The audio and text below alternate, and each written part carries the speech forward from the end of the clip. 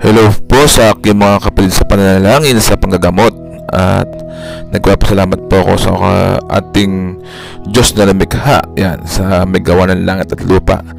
Nagpapasalamat din po ako sa mga taong sumusuporta sa aking YouTube channel na walang sawang naniniwala at napapagaling ko po. Yan po. At nagpapasalamat din po pala ako sa group page ni Commander Bertudes ng Karunungang Inilihim yan po. At saka sa Agimat Anting-Anting yan. At Kalasag Alpha Omega yan. May mga pinagaling tayo dyan. Ito pong orasyon ito ay tungkol po sa pangkalas ng tigal po. Pangkalas ng tigal po. Yan po.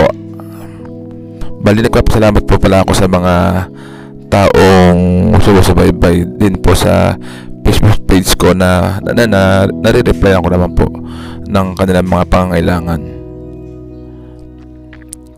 Magdasal ng isang ama namin, isang abaginong Maria, isang sumasampalataya, at isang luwalhati. Yan po, taimtim lang po ang pagdadasal. Ama namin, the Lord's Prayer. Ama namin sumasalahat ka, sambahin ang pangalan mo, mapasa amin ang kaharian mo, sundin ang loob mo. Dito sa lupa para ng sa langit. Bigyan mo kami ngayon ng aming kakanin sa araw-araw. At patawarin mo kami sa aming mga sala para na ang pagpapatawad namin sa nagkakasala sa amin. At huwag mo kaming ipahintulot sa tukso at iadya mo kami sa lahat ng masama.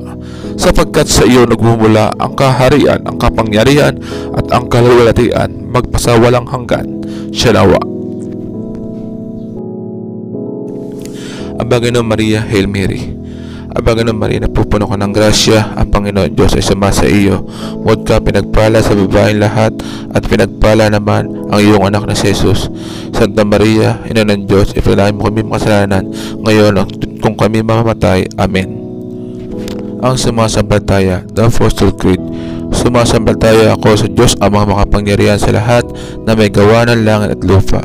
Sumasampalataya naman ako kay Kristo, iisang anak ng Diyos, Panginoon natin lahat, nagkatawan tao siya, lalang na Espiritu Santo, ipinanganak ni Santa Maria Berhen, ipinagpasakit ni Poncio Pilato, ipinako sa krus, namatay at inilibing, nanaog sa kanaroroonan ng mga yumao, ng maikatlong araw na buhay na mag-uli, umakyat sa langit, naluklok sa kanan ng Diyos, amang makapangyarihan sa lahat, doon magmumulat paririto at hukom sa nangabuhay at nangamatay na tao.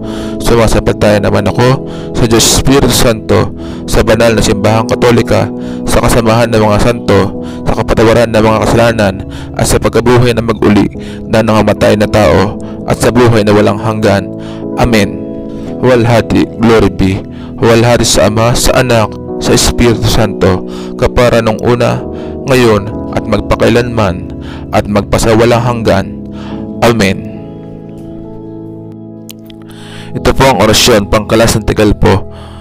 Interperatum et medente si Yesum Cristo Jesus Domine Eterno Jesus Samine Sagrado Jesus Emmanuel Ya Salvador Jo hikaok abha hikaak hoha i a o o u e e Interperatum et medente si Yesum Christum Jesus Domine Eterno Jesus Samine Sagrado Jesus Emmanuel Ya Salvador Jo hikaok abha hikaak hoha i a o o u e e Interpretum et vidente si Yesum Christum Jesus Domine Eterno Jesus Amine Sagrado Jesus Emmanuel Ya Salvador Jo hikaok abha hikaak hoha i a o o u e e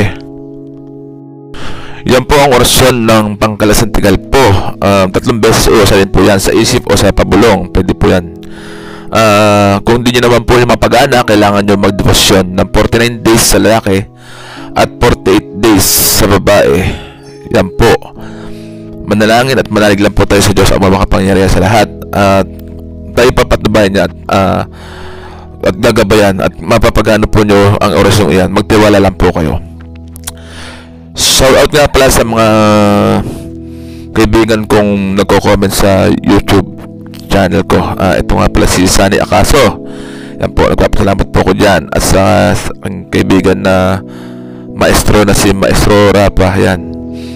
Malaking pong pasasalamat ko dyan kay Maestro. Saka po kay San Wendel, kay Jason Era, yan, shout out po kay Dennis Zamora, yan. At shout out po kay Jacqueline Miral, yan, sa Sharon Alejos, yan, sa mga ginamot ko kahapon.